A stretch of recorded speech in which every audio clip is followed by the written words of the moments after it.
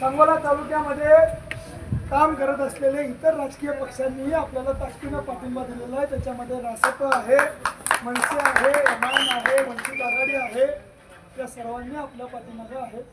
त्याचबरोबर परिवर्तन आघाडी जी स्वाभिमानी शेतकरी संघटना सहार संघटना आणि स्वराज्य पक्ष या तिघांनीही आपल्या ताकदीनं पाठिंबा दर्शवलेला आहे. त्याच्याच बरोबर सतरा अपक्ष उमेदवारांपैकी अकरा अपक्ष उमेदवार यांनी आपल्या पक्षाच्या पाठीमागे राहण्याची भूमिका घेतलेली आहे. ही सगळी आपली जमेची बाजू आहे. एकीकडे ही सगळी जनशक्ती एका बाजूला एकवट एकवटलेली आहे आणि दुसरी बाजूला समोर आपण लढतोय. शांत बसायचं एक तर आवाज बसलेला आहे दुसरा नाहीतर दोन मिनिटात सांगून समजायचं ज्या अर्थी आम्ही ओक्सा बोक्सीने बिंबीच्या देठापासून तुमच्याच भिंतीवर आम्ही लढतोय. बाकी आमचं भांडवल काय?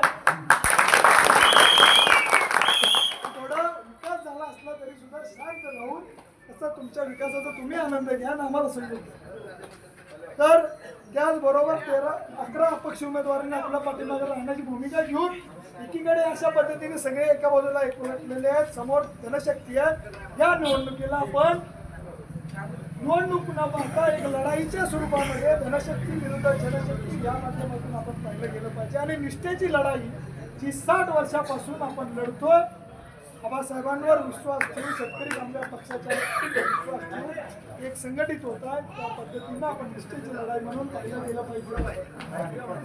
कृपया पुन्हा विनंती करतोय शांतता राखा नाहीतर आवाज अजिबात माझा तरी थोडा तर निघतोय. बाबासाहेबांचा माझ्यापेक्षा जास्त आवाज तर कृपया स्टुडिओ करा.